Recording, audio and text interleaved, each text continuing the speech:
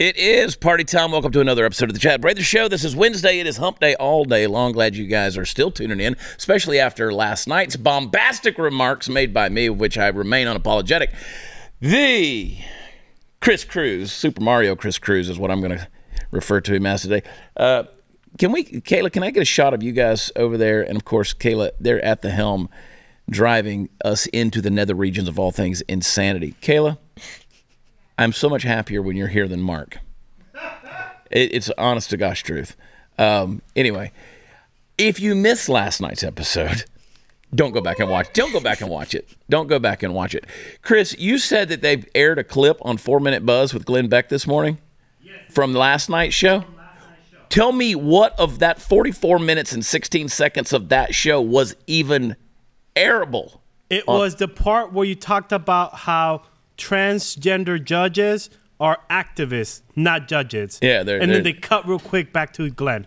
Judicial activist, yeah. Yep. Uh, so you ran a six second clip. That's awesome. Hey, my good friend Morgan Zegers is in the hot seat. Welcome to the show. I'm glad you are here. Oh, thank you for having me. We will keep it clean. All right, we'll keep it straight. I tried to warn you. I'm like a grandma, so Yeah, I don't know how much know I'll you. fit in on this. I know you. I uh, I've wanted to get you on the show for a long time, and uh, so I'm glad you you're filming across the parking lot Yeah. over here in the museum.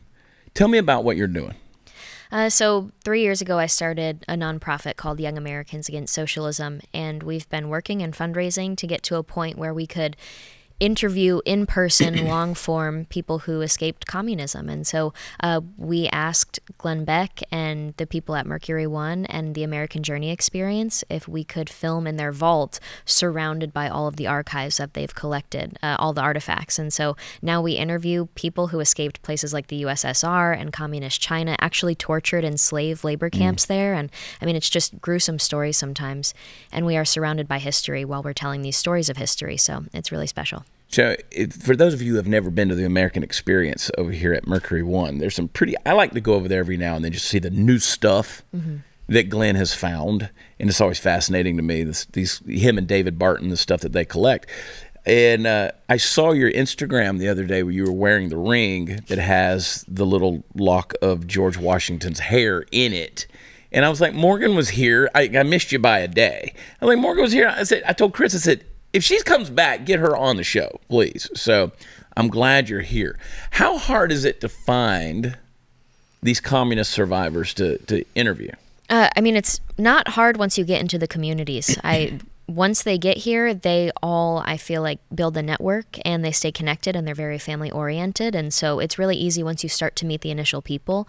Um, we actually we interviewed a husband and we eventually convinced his wife to come on as well. And so getting that full family story, the feminine version versus the masculine version of doing things like uh, what they were doing was transporting their family from Romania to Poland to America when the Germans had come in and then the USSR came to get the Germans out of their country. And so first they had to flee the Nazis and then they were fleeing the USSR communists and they tell that story. So to hear it from a mother's perspective of protecting her kids mm-hmm. and then to hear it from the father's perspective of having to be the leader of that family unit, it's just a, such an interesting dynamic. That's so so so what you're saying is communism is bad. very very bad Very and bad. we do not learn nearly enough about it in the public education system and i mean like the bare minimum. Mm-hmm. um, in fact we're starting to learn that it's a good thing i would say. And so we are teaching what the public education system refuses to teach and we're doing it in a way that paints a very clear picture of what happens when the policies are actually implemented How are people going to be able how are they going to be able to view what you're taping? So it's on YouTube. Um, It'll be on YouTube, on Rumble, and then it's a podcast version as well. But our channel is uh, fightsocialism.org is the website, and then our channel is Young Americans Against Socialism. It's it's entertaining. It's not like shoving politics down someone's throat. We hope that it's something where people look forward to hearing that story of inspiration and resilience, and really character because I think a lot of this goes back to we are morally weak people here in the country, mm. spiritually weak, mentally weak, physically weak. We got some problems there. You know that. yeah. And I think the more stories we can hear of people that go through truly hard times and suffer and get through it as a family and then get to America and are just so grateful, I hope that that's really the core message. Not me saying socialism bad, you know? I learn a lot from your videos. I watch your videos and I encourage everybody to check out Morgan's. Watch your Instagram.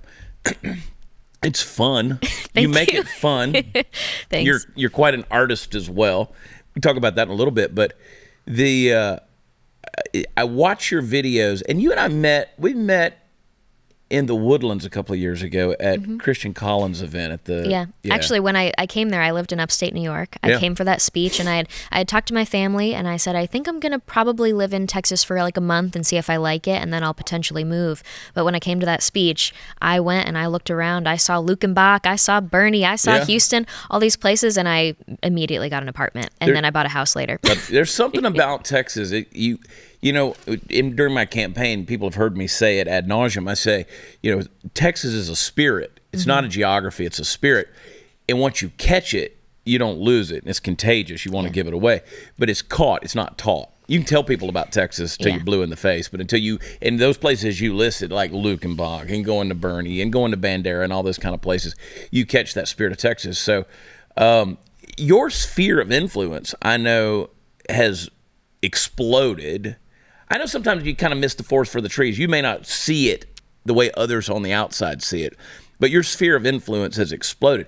And do you feel like people underestimate your message? Because what the message that you're bringing is some he- very heady stuff. When you're fighting socialism, you're discussing communism, these kind of things. Do you feel like people say, "Oh, it's just it's Morgan's project. She's doing this little thing," or or do you feel like people are, you know, they're grasping what you're trying to say because you're putting some heavy meat out there? Yeah, I it's hard for me to tell because I I do a few different things and I think it all comes together for one important message. But I interview the survivors from communism, but what I am also trying to do is promote more femininity in the country. And so mm. my following is grown in the way of I have fathers that follow me specifically so that they can show my content to their young daughters. And I take that so seriously now. And so I see this more as me transitioning just from communism interviews to really embracing that whole concept of respecting the past and the present and connecting it to the future but then also rethinking education. I, I just thought I was going to interview some great people that could pass their stories down and it, it just it was just a passion project. I had a full time job at the time. And now I'm fully in the world of media and I see it as an opportunity to rethink education. If you ask me, to fix the country, we have to rethink education, leadership, and community. And so that's partly why I also really like what you do. And with that means rethinking education outside of the public education sphere that's been created. It's an indoctrination camp. And so you don't have to be in a classroom to learn these certain things. I'm also really passionate about school choice and homeschooling. And the fact that now I didn't mean to, but now I have a huge following of people that homeschool or send their kids to pods or at least try and teach their kids things outside of the schools that they do go to. That was something I didn't expect and I appreciate it. So, like when I go to speeches on Turning Point USA campuses and stuff, um, I have people that bring their families because they just heard that I was in town and that Yeah. it was the best, you know, change that I've ever experienced, really. I love that. That's awesome. I we had Adam Guillette on the show Monday, and of course he's the founder and director of uh, Accuracy in Media, and we started talking about the public school system. I call it the public school system. I don't even call it the education system because they're not educating anybody anymore. So I, we were talking about the public school system, and he and I had not prepped any conversation prior to that thing, and it was literally like he was taking my words about the public school system and throwing them back public school system in America is built on a faulty foundation. It's a humanist system. It turns out socialists and Marxists, especially with the curriculum. And I'm and again, I'm always saying I'm not knocking the educators. Some I do. Some need to be knocked, but a lot of them are victims of the same system, mm-hmm. right? They they get in it for altruistic and real reasons to educate and shape young minds, but then they they wind up getting caught up in a system that's kind of stacked the deck against them. And I remind everybody that in 1917, in October 1917, when the Bolsheviks took over in Russia, they set up those orphanages all across the landscape of Russia, and they took the kids out of the home mm-hmm. so they could turn them into good communists, right? Became recruiting centers for the KGB. Yeah. So your kids became your executioner in, in essence. So this is not a far step here. What we're doing, we have systematically set up a network, and we call it the school system, that is actually turning kids away from the parents. We I pre-taped uh, next week's Monday and Tuesday show yesterday. I confuse myself sometimes, but I talked specifically about the, the the the culture of fatherlessness in in America, and how we're losing masculine authority. Uh, we've called it toxic those are oxymorons. It's either masculine or it's toxic. It can't be both, right? They, they're mutual exclusive, mutually exclusive concepts. But we've lost that. And then on Tuesday, Tuesday's episode, folks will see, I pulled my Bible out and I did a whole thing of the prodigal son and the significance of the father's relationship with two sons. And so, um, it, what you're saying here is, is everything from the communist, you know, in, in, interviewing those from the masculine perspective as protectors, those who wanted to lead their family out of this, and then the the the situation that we have in America where we have weakened masculinity, we've weakened men, and we're, and we're churning out, you know, beta soy, whatever you want to call them, you know, gender confusion. I mean, I, it, this crazy stuff, this Yeah. identity crisis that we're going. I say all that to ask you this: How long do we have before we have a full-blown American meltdown culturally, where we become virtually unrecognizable because of the influences of socialism? Well, I, I think that that's already happened. Um, I'm not the most positive person. If you want an honest answer, I'll, I'll give it Good. to you. Some people don't really want that. Um, I think it would take decades to restore America to what it was intended to be, to what it could be. But we're so far gone at this point that it, it needs to be a serious effort of a lot of people coming together to say, like, actual change needs to happen. We need to go on offense. that means completely dismantling the education system, among other things. Um, but it's disturbing if you look at now it's not just oh you know our kids aren't taught some stuff in schools and we make some viral videos where we laugh at the young kids and the sh- um, you know the man on the street Yep, videos. sure. they go viral and everybody's like oh i can't believe someone doesn't know what our national anthem is. This is hilarious. But it's so so bad because it it's not just that they don't know basic history facts. You have to understand that these people have no concept of what government tyranny even is of what it looks like to have an oppressive government come into your life and tell you what to do and what those warning signs are, what the red flags are. And so when I explain, especially to like donors and to people that I'm trying to get to support what we're doing, I explain it as when I talk to young people and even older people in America, they say something like this. What's going on these days? It's like that book 1984. Or it's like that movie V for Vendetta. This is so creepy. It's Orwellian. And it's like, you guys, no, actually, the totalitarianism we're seeing is very replicative of the Cultural Revolution in China. And like you said, with the, the daycare system in the USSR, when the Bolsheviks came, they did the same thing in China as well. And they encouraged children to not see themselves as a child of their parent, but as somebody that should be watching their parent to see if their parent was going to uh, dissent away from the views of the state. So, I wish that we looked at oppressive bureaucracy in America, the shutting down of private business, the uh, sending child protective services after small business owners that dared to open their business like a hair salon, sending them to go check on the kids for their safety because is mommy is mommy scaring you by having her business open? Doing that, that's very similar to the bureaucracy that was used in Venezuela to seize the means of production. The totalitarianism we're seeing is very similar to the Cultural Revolution of China, the elimination. I read an article, did you see this one? An article that says every aspect of Amer- of apple pie is great in terms of an example for why America is racist. And it talked about the sugar on the crust of the apple pie being from Haiti, where they're slaves. The apples are from Asia. They aren't even American. It, it, it goes down where you can look and say, oh, they're just making fun of apple pie, being leftist, complaining about everything. But what they're doing is attacking things that are quintessential for American heritage. And they're trying to re- remove the four olds, like we're in the Cultural Revolution. It was, I think, ideas, customs, habits, traditions. And specifically, this really freaked me out. Did you see in Texas? I live I was living in Boerne at the time. I saw that they were trying to go after the Alamo. You had leftists in Texas trying to remove education about the Alamo from Texas curriculum in order to make sure that they weren't taught as heroes, the people who defended the Alamo. Instead, they were white settlers on Mexican land. Right. So it's that distortion of American history. It's that removal of our tradition and something that we can all come around and celebrate together that really disturbs me. And I do think it's going to be decades to fix. And, and uh, we need a lot of people to start understanding how serious this is. Yeah, and they don't. They don't. All right, we got to take a break. Uh, Chris, give me something to sell. There you go. I like it. Perfect. Hey, uh, friends with the president warning about food shortages. Yes, the president actually did tell us that food shortages were coming. You got to get prepared in case a worst scenario, worst case scenario happens in the next few weeks or months. Uh, if you're not ready, drop what you're doing, and I want you to seriously go to mypatriotsupply.com.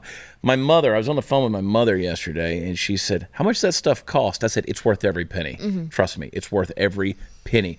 Uh, listen, My Patriot Supply, they're the largest that's out there. They're the most dependable that's out there as far as your preparedness uh, supplies go. They've served millions of families. They've got 50,000 four and five star reviews. You can trust MyPatriotSupply.com for everything you need. They carry all different sizes of emergency food kits. Each kit provides breakfast, lunches, dinners, drinks, and snacks.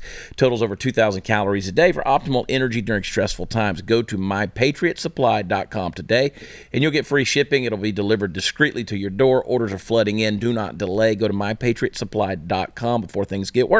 That is MyPatriotSupply.com. We'll be right back.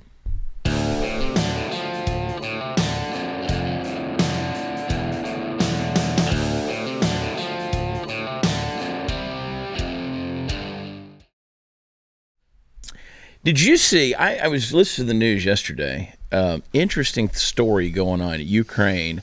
You have Holocaust survivors that are now being transported for protection back to Germany. Did you hear that? That's crazy. I did not hear that You one. talk about your life coming full circle. Right? You escape Holocaust Germany. You you you become a Ukrainian refugee or a refugee in Ukraine, and now they're going back to Germany for protection. Yeah. Well, there's also ironic. there's people that I've interviewed that they escaped Cuba to go to Venezuela. Mm. And then they tried to warn everybody in Venezuela and say this is very similar. What what Chavez is saying is very similar to Castro. All the, all these warnings, and everybody would say it can never happen here. Yeah. And then now they're in America after escaping Venezuela, saying we're trying to warn them once again, Trying and to warn nobody's listening to us. Scary. Mm-hmm. I mean, that is frightening stuff. Um, it, and I mean, I don't, I don't, I mean that with every fiber of my being. It's frightening the stuff that people are willing to put up with.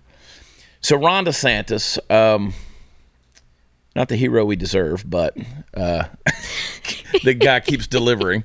Uh, he said that uh, Disney crossed the line by declaring that it will push for a recently approved piece of legislation to either be repealed by the state legislature or rejected by the courts. Why do these people want to fight so hard to educate kindergarten to third graders about sexual stuff? I mean, what is what is what is the mo here? These people uh, are disgusting. I, it's it's just really a display of how politics works these days. I always, specifically for this, imagine somebody like us sitting at a table and just having a conversation with somebody who truly thinks that this is a don't say gay bill. What would happen if we just had to confront them with the basic truths in a normal conversation? But that's just does not happen these days. Happen. I think he said it best though. He was like, "These are Californian." Corporate leaders of their business saying that they're going to dictate what happens in Florida at a state policy level, it, you're out of your league here.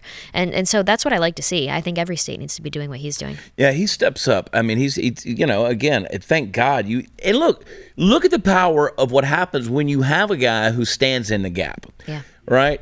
So he just barely beat uh, Gillum in the, when in their gubernatorial race. Right. They almost had Andrew Gillum. That would have been a nightmare. He only beat him like one and a half percent or something like that. But now look at how red, for a lack of better terms, how red uh, Florida has become. It, that that expanse has grown between the leftist ideology and conservative values. Now people are flocking to Florida who are seeking after freedom.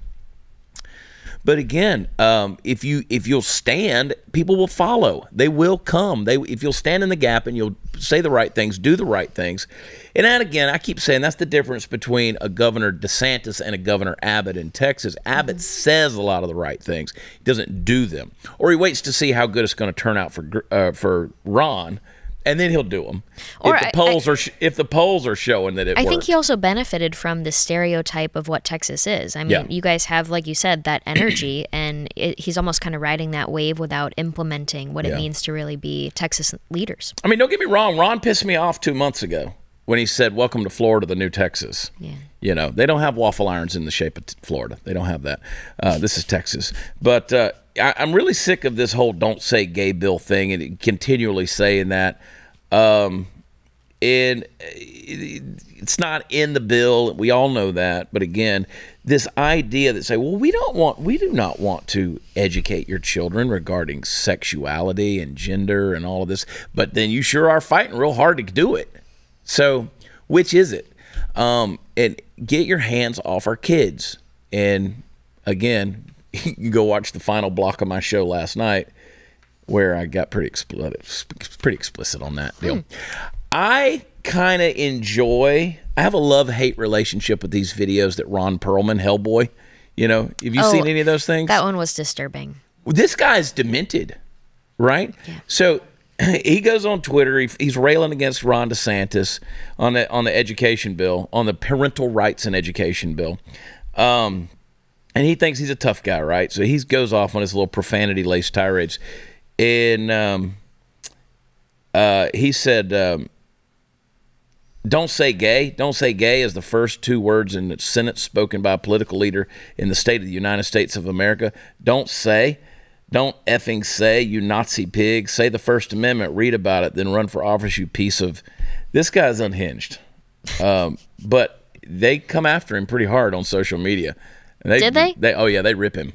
Okay. They rip him, which is good. Um, but again, what they're doing with guys like Ron Perlman is the left uses those guys to to help the misinformation campaign that's out there.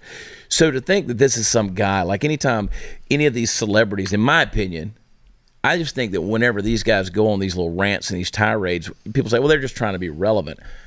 No, they're useful tools, right? And so the left loves to use that and continue to push that thing out there because the more that misinformation is spread, it's like anything else. It just becomes you know the perceived common knowledge right you saw i showed you that graph of the thing people perceive to be reality in america versus the really the, the true numbers that are out there yeah uh, how do we overcome any of this stuff if the perceptions are wrong you know well so back to when i started my nonprofit i was looking into effective communication strategy. And there's a study from Michigan State University that says the most effective way to actually reach someone with a hard to understand topic or with an issue that you have to understand why it impacts you and the world around you so it's not just like a, an issue that you memorize and understand the basics of and or an opposing viewpoint it was actually hearing it from a peer mm. not from a parent or a professor or somebody talking down to you as if they're explaining it from a professional standpoint yeah. and so taking that concept of peer rationale into not just an issue of communism and, and education of history if we take that into speaking to the members of our community, I think that that's really how we have positive change. Now, one example is all of these people that moved to Texas. You and I have been talking about Texas a lot today. Good. When I moved from New York State to Texas, I went to live out my values. I'm a conservative woman. I'm an American woman, very proud of those values, and I wanted to live out my values in Texas. When I moved into my house in my tiny little family sized neighborhood right next to an elementary school, I didn't have a single person that like brought me a little gift mm. to my door and said like welcome to the neighborhood. And when I was in a military family growing up, that always happened. Right. And it was a shock to me because it's like, what the heck are Texas conservatives doing? If people are moving at such rapid numbers that you can't change, you can't make people not come. A lot of people are coming. And if we don't embrace them and communicate to them why our state is so successful and why it's worthy of being moved into, then when are they ever going to hear it? If all they're hearing is this hyper political conversation right. online by these people that have no idea what they're talking about. So bringing it to the most local, community friend to friend level, I think, is going to actually have positive change. And it's a serious action item that you can all implement in your lives, you know? Yeah. Getting back to that, you, you bring up an interesting point there. We've lost all sense of community. Mm-hmm. You know, what was it you were saying the other day, Chris? I, I don't even think that we've aired that yet. This is for next week. You and I were having the conversation about you know, you, you, hate to use the phrase "it takes a village to raise," you know, you know the whole Hillary Clinton thing. But the in essence, that there is value to that statement if you if you understand it correctly. Yeah, not through government take, regulation. Yeah, it and takes programs. a community to help a family. You know, it used to be you take welfare system or you take um, uh, education system, any of those. Historically in America, it was the responsibility of the church, it was the responsibility of the community. We've lost all of that stuff for government dependence, right? So there's no hope for us unless we come back to a sense of community. Yeah. But social media has us all backbiting. You know, we're mad at each other. Everybody's, you know, a, a student of nuance and, and can't understand sarcasm. They can't understand humor. You know, you can't even make a joke online without it turning into five type five types of World War Three um, in the comments section. You know, at what point in time, and, and this is a conviction of mine. I'm just kind of I'm kind of coming into this self realization lately of I'm kind of wanting to change my whole way of operating because it's not I I've been doing things a certain way for a number of years now, and it's like, okay, that's not working, you know. So it's time to get back into a sense of community. How can I serve my community? How can I encourage my community? And I'm talking about my neighbors, right? Yeah, the people exactly. that my sphere. How can I help them? How can I grow them? How can I make them more successful? So I've been I've been meeting with people. I've been going and visiting with them and and sitting down talking to them, hearing their needs, hearing what's going on, checking in on them those kind of things. How can I help you grow? How can I benefit your business? Those kind of things. Because you're right, we've lost all of that. Yeah. It's just gone. Well, and when we hear from the left that we need community ownership and we need Right. that's what they say for collectivizing businesses and taking government control of these private businesses community owned or they say that children belong to the community and that it takes a community like you said a Right. village to raise the child they're talking about government and Exactly. government structure and programs when we talk about community i see it as if i'm going out of town if something happens to my family and like maybe i have to go to a family funeral i can ask my neighbor next door to water my plants and take care of my mm-hmm. animals because i can trust them and i can trust them with the key to my house in that sense because we are a tied up community but when you have community organizers like saul alinsky trained aoc barack obama hillary clinton they see community as government and so we see it completely different Yeah. but like I said, if somebody like me is moving into a community in Texas and nobody comes to my door just to greet me, you don't have to say, "Hey, are you a Republican? Can you sign up to vote Look right away?" Mor- put put the camera back on Morgan. Who would not go visit this girl? Who would not No one her? did. No one did. It was very sad. I That was hoping pathetic. someone would bring cookies. I don't know. I don't need like gifts, but it was just the sense of like, wow, nobody that lives around me offered maybe I don't know this young alone girl. I moved into the house. I was by myself. Nobody even offered, "Hey, if you ever need anything for safety purposes, let me know." Nobody said, "Hey, this is what we do as a community. We meet on these certain days or, or we have a barbecue every month, whatever it is." And nobody thought to maybe say, do you need a, a slip to register to vote? Where's Right. the GOP community level coordination? You know, it's like when we get down to those basic questions, if we can't stop people from moving to these conservative states, we've got to find a plan on communicating to them just why our state is so worthy of being moved to. You're putting ideas in my head, and I like it. Thanks. Yeah. But and I'm sorry because you were asking about that crazy guy that was about No, like talking okay. about Nazis. The the less we get away from even caring about that stuff, and we all can say, okay, he's crazy. Let's focus on what really matters. We'll be in a better place. I agree. And Ron, you have money. Fix your teeth. Um, hey, what does our current out of control inflation look like? Well, it looks like you're paying 47% more for fuel than a year ago. It looks like you're paying 41% more than the same used vehicle if you'd have bought it this year instead of last year. It looks like you're paying almost 10% more to feed your family. It looks like every dollar in your savings is now worth less than it was a year ago. So I want you to hedge against the U.S. dollar by investing in something of real value gold and silver from Birch Gold. Precious metals have historically been a safe haven in times of inflation, and Birch Gold is the leader in converting IRAs and 401ks into a tax sheltered IRA backed by gold and silver.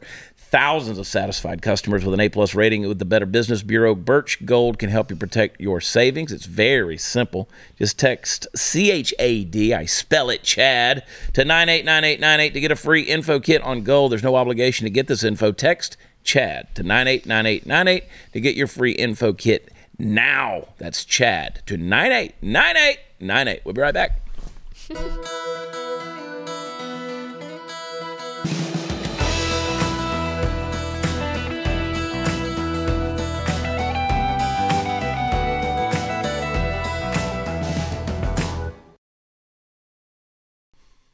Welcome back, everybody. All right.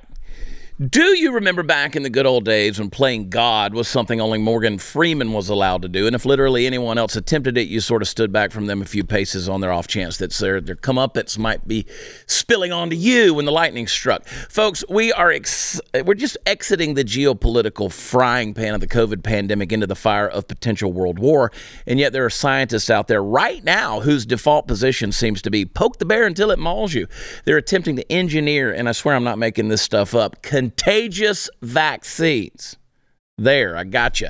I'll bet you didn't see that one coming, did you? I, I, know I didn't because, hey, we've just spent the past couple of years coming to the painful realization that the medical community at large doesn't know anywhere near as much as it claims to know and is wildly divided and politically polarized in a field that should not be that way at all. And all that after funding research to the lab that almost certainly uh, loosed this crap on the world in the first place. So that's where we're standing in 2022. Clearly, it's time to throw the old lab coat back on and get back to experimenting, right? What could possibly go wrong this time? The answer is a whole effing lot.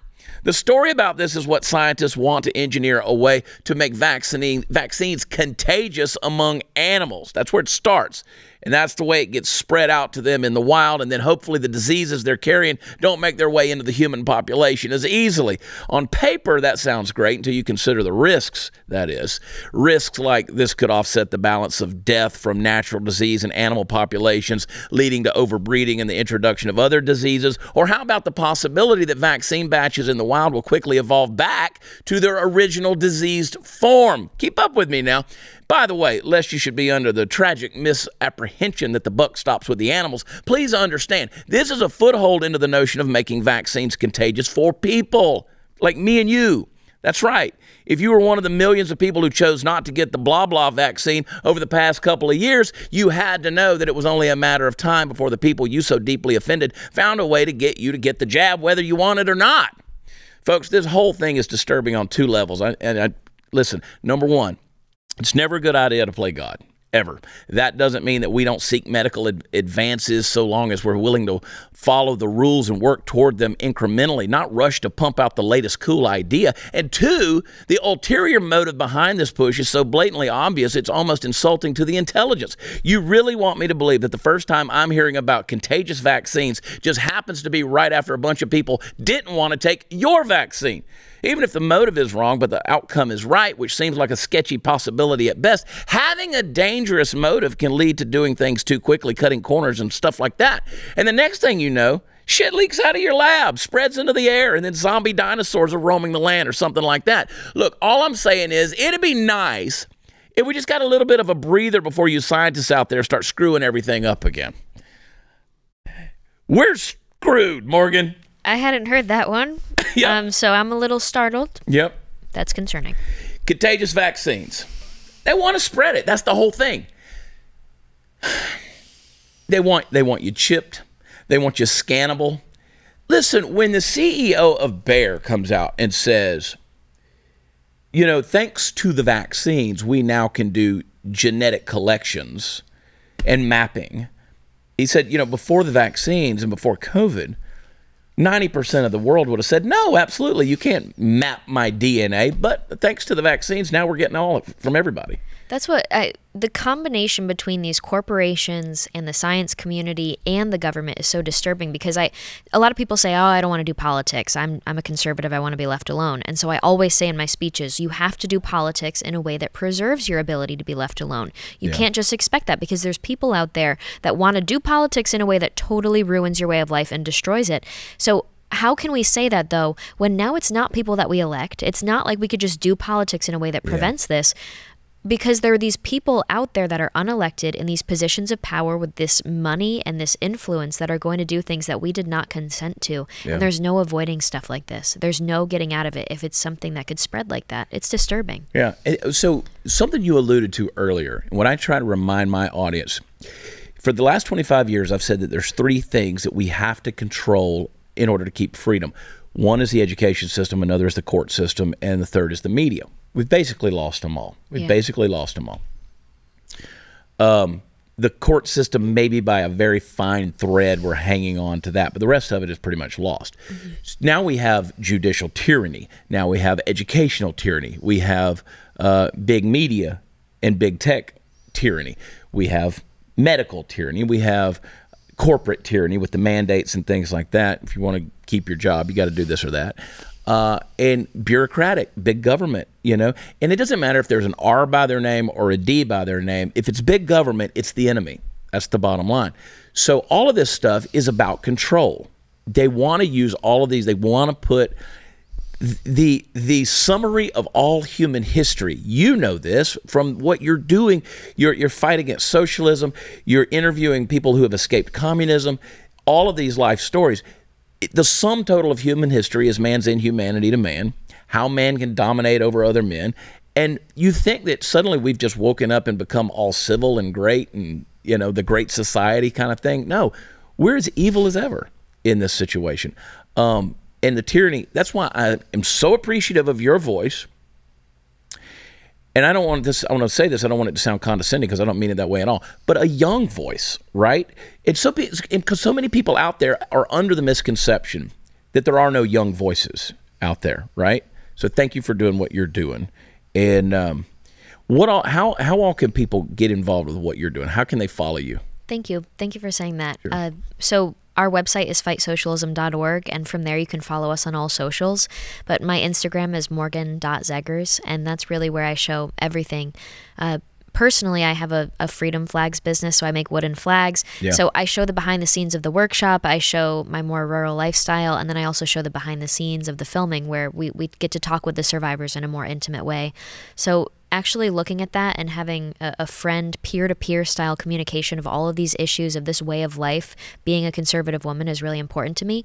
And that Mess, uh, the Michigan State University study that I told you about, it proves it's the most effective way to communicate values like freedom. So, yeah. so that's what we're trying to do on social media, and you can follow us on all the platforms. Yeah, and make sure you follow her and, and buy some flags too. the flags are awesome. Thank you. Yeah, I appreciate it. I love the little peek into the wood shop and all of that kind of stuff, and you have fun, quirky content. I enjoy it. Thank you. Quirky in a good way. It's entertaining. So and for God's sake, bring her some cookies, all right? If you know she's in your neighborhood. we're not done yet. We got one more sec- segment. We're going to get off the rails for a little bit. We're going to see see what uh, Megan thinks about some of the uh, some of the woke stuff from TikTok that we'll get into. But uh, don't move. We'll be right back. Hang on. Woke TikTok.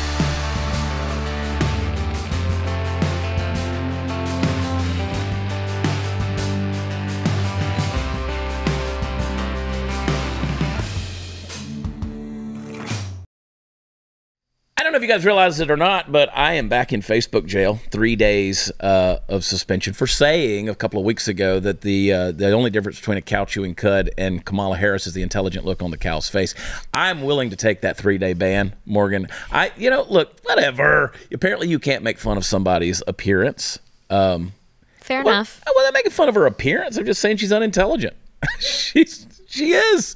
She's not an intelligent human being. I want Morgan Zegers to be the vice president. Thank you. Like right I would now. never. I would never. But yeah, I appreciate that. Would you ever run for office? Absolutely not. I used to say that. I Absolutely used to, I used to say hands down, no question about it. I'd never run for office, and I did it. I'm going to be a homeschool homemaking mom. I like that. Thank you. Nothing wrong with that. Thank you. Yeah. There you go, fellas. a girl with values, but she's smarter than you, so be careful. Well, that's the thing. I not to go on a rant, but you know, I have people that say, well, the problem is women like you that push these conservative values aren't actually living out your values. You're going on TV and you're doing your media stuff and you're being a boss babe. And I'm like, well, do you want me to be dumb and then educate our children?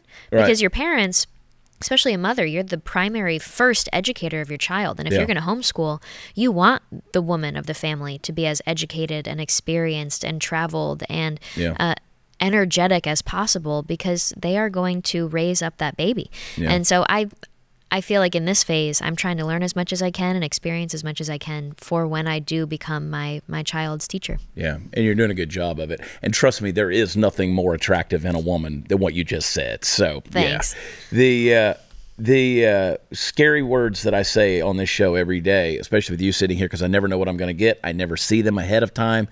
Um, but I got a feeling that it's not going to be attractive. Uh, and that is, Chris, show me a TikTok.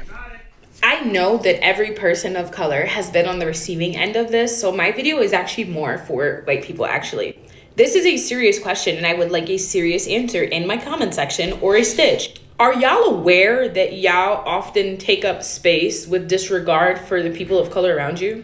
If there's any confusion, I can give you guys an example. I'm from New York City. Sometimes a sidewalk is narrow to the point where there's only enough room for two tra- two modes of traffic, one going and one coming. But that has never stopped white people from walking side by side and holding hands and expecting you to either stand and wait for them to pass or walk in the street if you need to keep going. Are you guys aware that this is something that you do or is it something that happens by accident? Because people of color are taught to be aware of how much space they're taking up at all times. So watching you guys take up space without even thinking about it is mind blowing to a lot of us.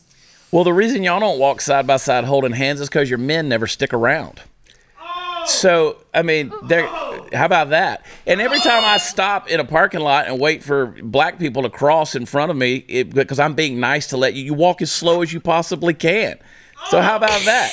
Am I wrong? Am I? I said what I said. Oh. Am I wrong? It's true, Morgan. You don't have to comment on that at all. Well, you so- can st- you can stay completely out of this, but I think that this is more of a human problem where people lack basic manners, and That so you know you, they don't move out of the way on the sidewalks. It's not a race thing. The left makes everything about race, which is what we just saw there. But there is an issue of people are just rude on airplanes, on sidewalks, all that stuff, opening doors. I would love if we had more chivalry and and that I kind agree. of stuff. So- Like in the airport, I, I don't mind flying. I don't mind. I normally fly 200,000 miles a year. I don't mind being on the plane.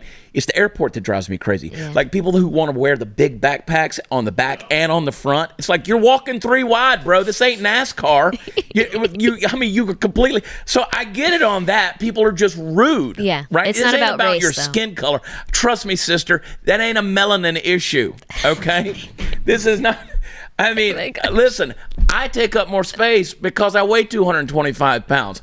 I don't want to. I'm I'm gravity challenge. I'm challenging gravity. I don't know what I am. gravity is challenging me. All right. But there, here's the thing. This kind of thing where everything makes you. What was the phrase I used last week, week Chris? An, an uh, unearned moral authority. Everything like you you who are you to speak into this sociological issue of how people walk on a sidewalk? Mm-hmm. Like and, and then you're going to make it a race issue. Everything is racist. We talked about this all, but, but during the break. Everything Yeah. is racist. Yeah, I mean it's it's that racism that we're seeing, but what I also see too is social media gives these woke people who let's Yeah. be honest are not the smartest and probably can't talk about many issues. It gives them this sense of seniority and professionalism almost where they explain the issue that Right. they've just created in their mind to all of us as if they are helping everybody understand it. So it gives them a sense of purpose Yeah. almost. And I think that's really like where a lot of this is coming from. They need a sense of fulfillment. And that's why everybody's got to get my book, Am I Crazy? I talk about how social media gives people a sense of authority and mm. an idea of celebrity, and it makes them Yeah. become so called online experts about Yeah. everything. I think the audio version of this is coming out soon. I think they're finalizing that. But Oh, I uh, love that. I'll listen yeah, to it. That's the good. thing on TikTok, especially. They come up with new words and then they explain those new words that they just created, and I think that gives them so so much Yeah. validation with their their troubles that they're having on the inside. That's how I see it. I need a glossary to keep up with most of it, quite honestly. Well, did you hear? I, I spoke at a campus recently, two weeks ago. I was there to talk about history because I focus on history. And I get there, and there's all these posters about human rights. And they were like, oh, yeah, that's for you. There's some protesters out there. 40 people were there protesting because they said a transphobic misogynist, Morgan Zegers, was coming. Look at you. I had to, I was like, misogynist? Isn't that you hate women? So I Google it, and I'm like, Yep, they're really calling me that. And then transphobe because I defended women's sports and talked about that girl that was raped in the bathroom in ninth grade by a, a guy in a skirt. Keep up the fight. One more second. We'll be right back.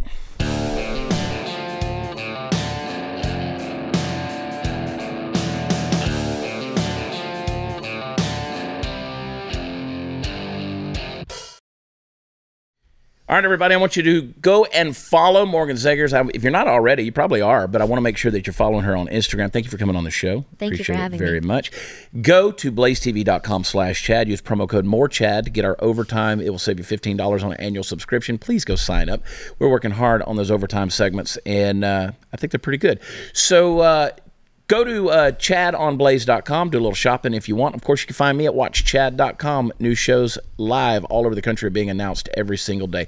We'll see you tomorrow. We'll get off the rails. Love you. God bless you. Talk to you then. Bye.